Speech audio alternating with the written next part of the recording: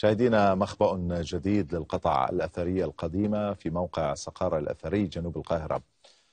أعلنت عنه بعثة الآثار المصرية والأجنبية في المنطقة. توابية تماثيل برونزية هي الأحدث في سلسلة من الاكتشافات المتتالية في سقارة. مقبرة العاصمة المصرية القديمة منفس المدرجة على لائحة التراث العالمي. من بين 150 تمثالا برونزيا أميط عنها اللثام في أحدث المكتشفات في سقارة. عثر على تمثال إم حوتب رائد الهندسة المعمارية في العالم القديم. الكشف اللي إحنا شايفينه قدامنا ده بعد بضع ساعات هيتنقل على المتحف المصري الكبير. الحدث الهام جمع وسائل الإعلام لأنه يعني أن البعثة الأثرية اقتربت من تحقيق هدفها بعد أربعة مواسم من الحفريات في المنطقة للعثور على مقبرة إم حوتب. طيب في كمان تماثيل النائحات. التمثالين دولت روعة. التمثالين دولت إحنا أول ما نزلنا في المكان وبصينا عليهم أنا عايز أقول لحضرتك إنه كان في رعب لأنه نفس الواحد منا كان بيحرك طبقات البلاستر. اللي على الوش بتاعت الوش المذهب ده كان كله طارد من على من على الخشب. فده النفس بس كان بيحرك ال- طبقات البلاستر دي. فده كان رعب بالنسبة لنا. ده كان أكبر تحدي بالنسبة لنا. سقارة مخبأ أثري لا ينضب. أخرج منه هذه المرة 250 تابوتا خشبيا تعود إلى حوالي القرن الخامس قبل الميلاد. وخلافا للمومياوات عثر على بردية مختومة لم يمسها أحد بطول تسعة أمتار. يرجح أن فيها فصولا من كتاب الموتى.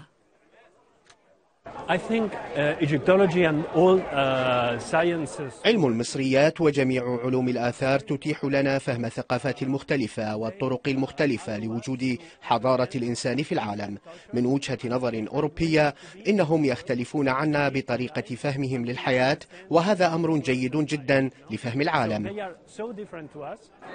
كلما حفرت الأرض ازدادت كنوز المتاحف المصرية. ومنها مؤونة متحف كبير سيفتتح قريبا ليضم التوابيت المكتشفة في سقارة مقبرة العاصمة المصرية القديمة منفس أحد مواقع التراث العالمي لليونسكو.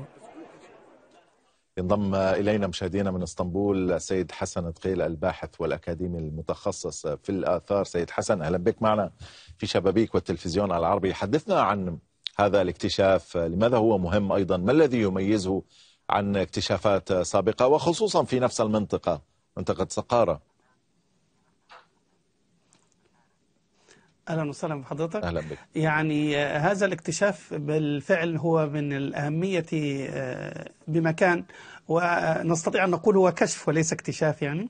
لأن هو آه، دي عبارة عن خبيئة. خبيئة كانت موجودة. هذا التجميع كان موجود بالفعل ولكن تم الكشف عنها آه، في الوقت الحالي لكنها هي بالتأكيد مجمعة منذ آه، يعني قرون طويلة مجمعة بهذا الشكل.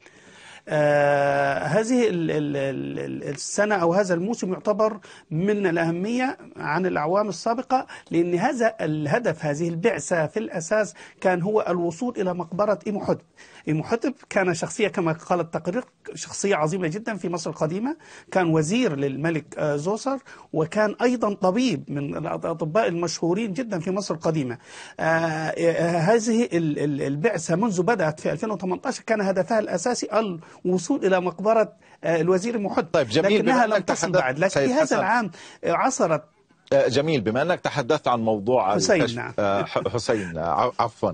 آه، بما أنك تحدثت عن موضوع الكشف وموضوع آه، إيجاد القبر آه، أيضا يعني آه، تم وصف محب ب- بعدة أسماء بأنه عظيم آه، أو أعظم العقول التي أنجبتها مصر عظيم الدنيا والعبقري وغيره من الأسماء. هذه المهمة الذي تحدثت عنها. آه، كيف ممكن أن تقترب بهذا الكشف؟ هذا ال- ال- الموسم لأول مرة يتم العثور على تمثال لأم أحد. يعني كل الاكتشافات السابقة في خلال الأعوام الماضية تم العثور على تماثيل أخرى تم العثور على كنوز أخرى لكن لم يتم العثور على أي أثر يمس الوزير محمد هذا العام رغم أن التمثال الذي وجد بدون رأس التمثال الذي يخص محط من ضمن تماثيل برونزية التي تم العثور عليها هو تمثال لمحط ولكنه بدون رأس لكن هذا يدل على أن الأمر قد اقترب. يعني هذه المنطقة التي تم فيها تجميع هذه هذه هذه ال- الكنوز بالتأكيد أن المقبرة تقترب. أو هكذا تشير الدلائل يعني. طيب الحديث عن فهو موسم يختلف عن المواسم السابقة في هذا الموضوع. صحيح. طيب آه، موضوع الكشف عن أوراق البردي المختومة التي لم يمسها أحد. هذا هذا الكشف يعني يقال عنه بأنه كشف عظيم. آه، يترتب عليه كثير آه، تاريخيا ثقافيا طبيا أيضا. آه، لماذا؟ هل ممكن أن تفسر لنا أكثر؟ صحيح. نعم. يعني ورقة البردي هذه التي تم العثور عليها في داخل تابوت أو صندوق خاص بها يبلغ طولها تسعة أمتار. لم يتم العثور على مثل هذه الأوراق البردي منذ مئة عام تقريبا في مصر حتى الآن. هذه ال- البردية لا, لا تدل على أنها كانت طبية ربما تشير إلى أشياء أخرى. يعني التوقعات تقول البدائية المبدئية تقول نعم التوقعات يقال بأنها تحتوي على من كتاب الموتى. من كتاب الموتى. نعم. من كتاب الموتى. كتاب الموتى هو بشكل عام يعني عبارة عن أوراق شبيهة بهذا الأمر كانت توضع مع ال- ال- ال- المتوفى في داخل مقبرته للاستئناس بها. وهو ينتقل إلى الدار الآخرة. هكذا كان في عقيدة المصريين القدماء.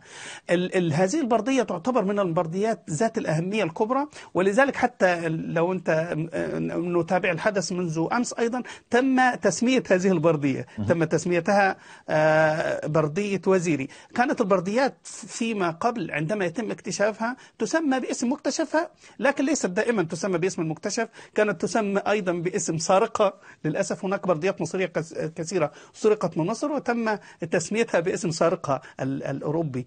وأيضا سميت بعض البرديات بالمتحف الموجود بها الآن. هناك مثلا بردية بروكلين بردية لندن بردية بر- برلين من البرديات المصرية الشهيرة الموجودة في هذه الأماكن. ما ال- ما هذه البردية المرجوة منها؟ أطلق عليها آه، برد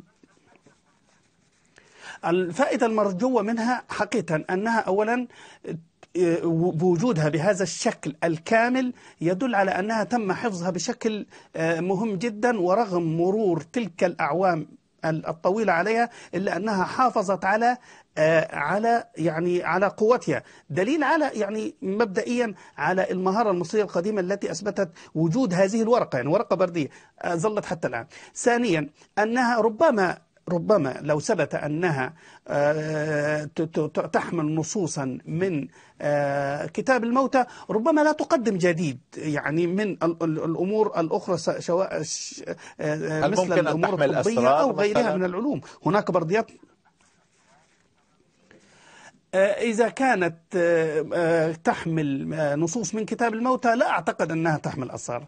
آه، هناك ال- ال- البرديات التي تحمل أسرار كثيرا هي البرديات الطبية أو البرديات هناك برديات جغرافية مصرية نعم. قديمة آه، وهناك برديات حسابية تم آه، العثور عليها في مصر قديمة. لكن هذه البردية هي ميزتها أنها أطول بردية يتم العثور عليها منذ 100 عام. يبلغ طولها نعم. تسعة أمتار وهي في حالة جيدة من الحفظ. يعني هذه هي الميزة قد تكون الوحيدة لهذه ال- ال- البردية حتى الآن. وربما يتم اكتشاف بعض الأمور الأخرى أثناء ال- ال- ال- التحليل والترميم لها.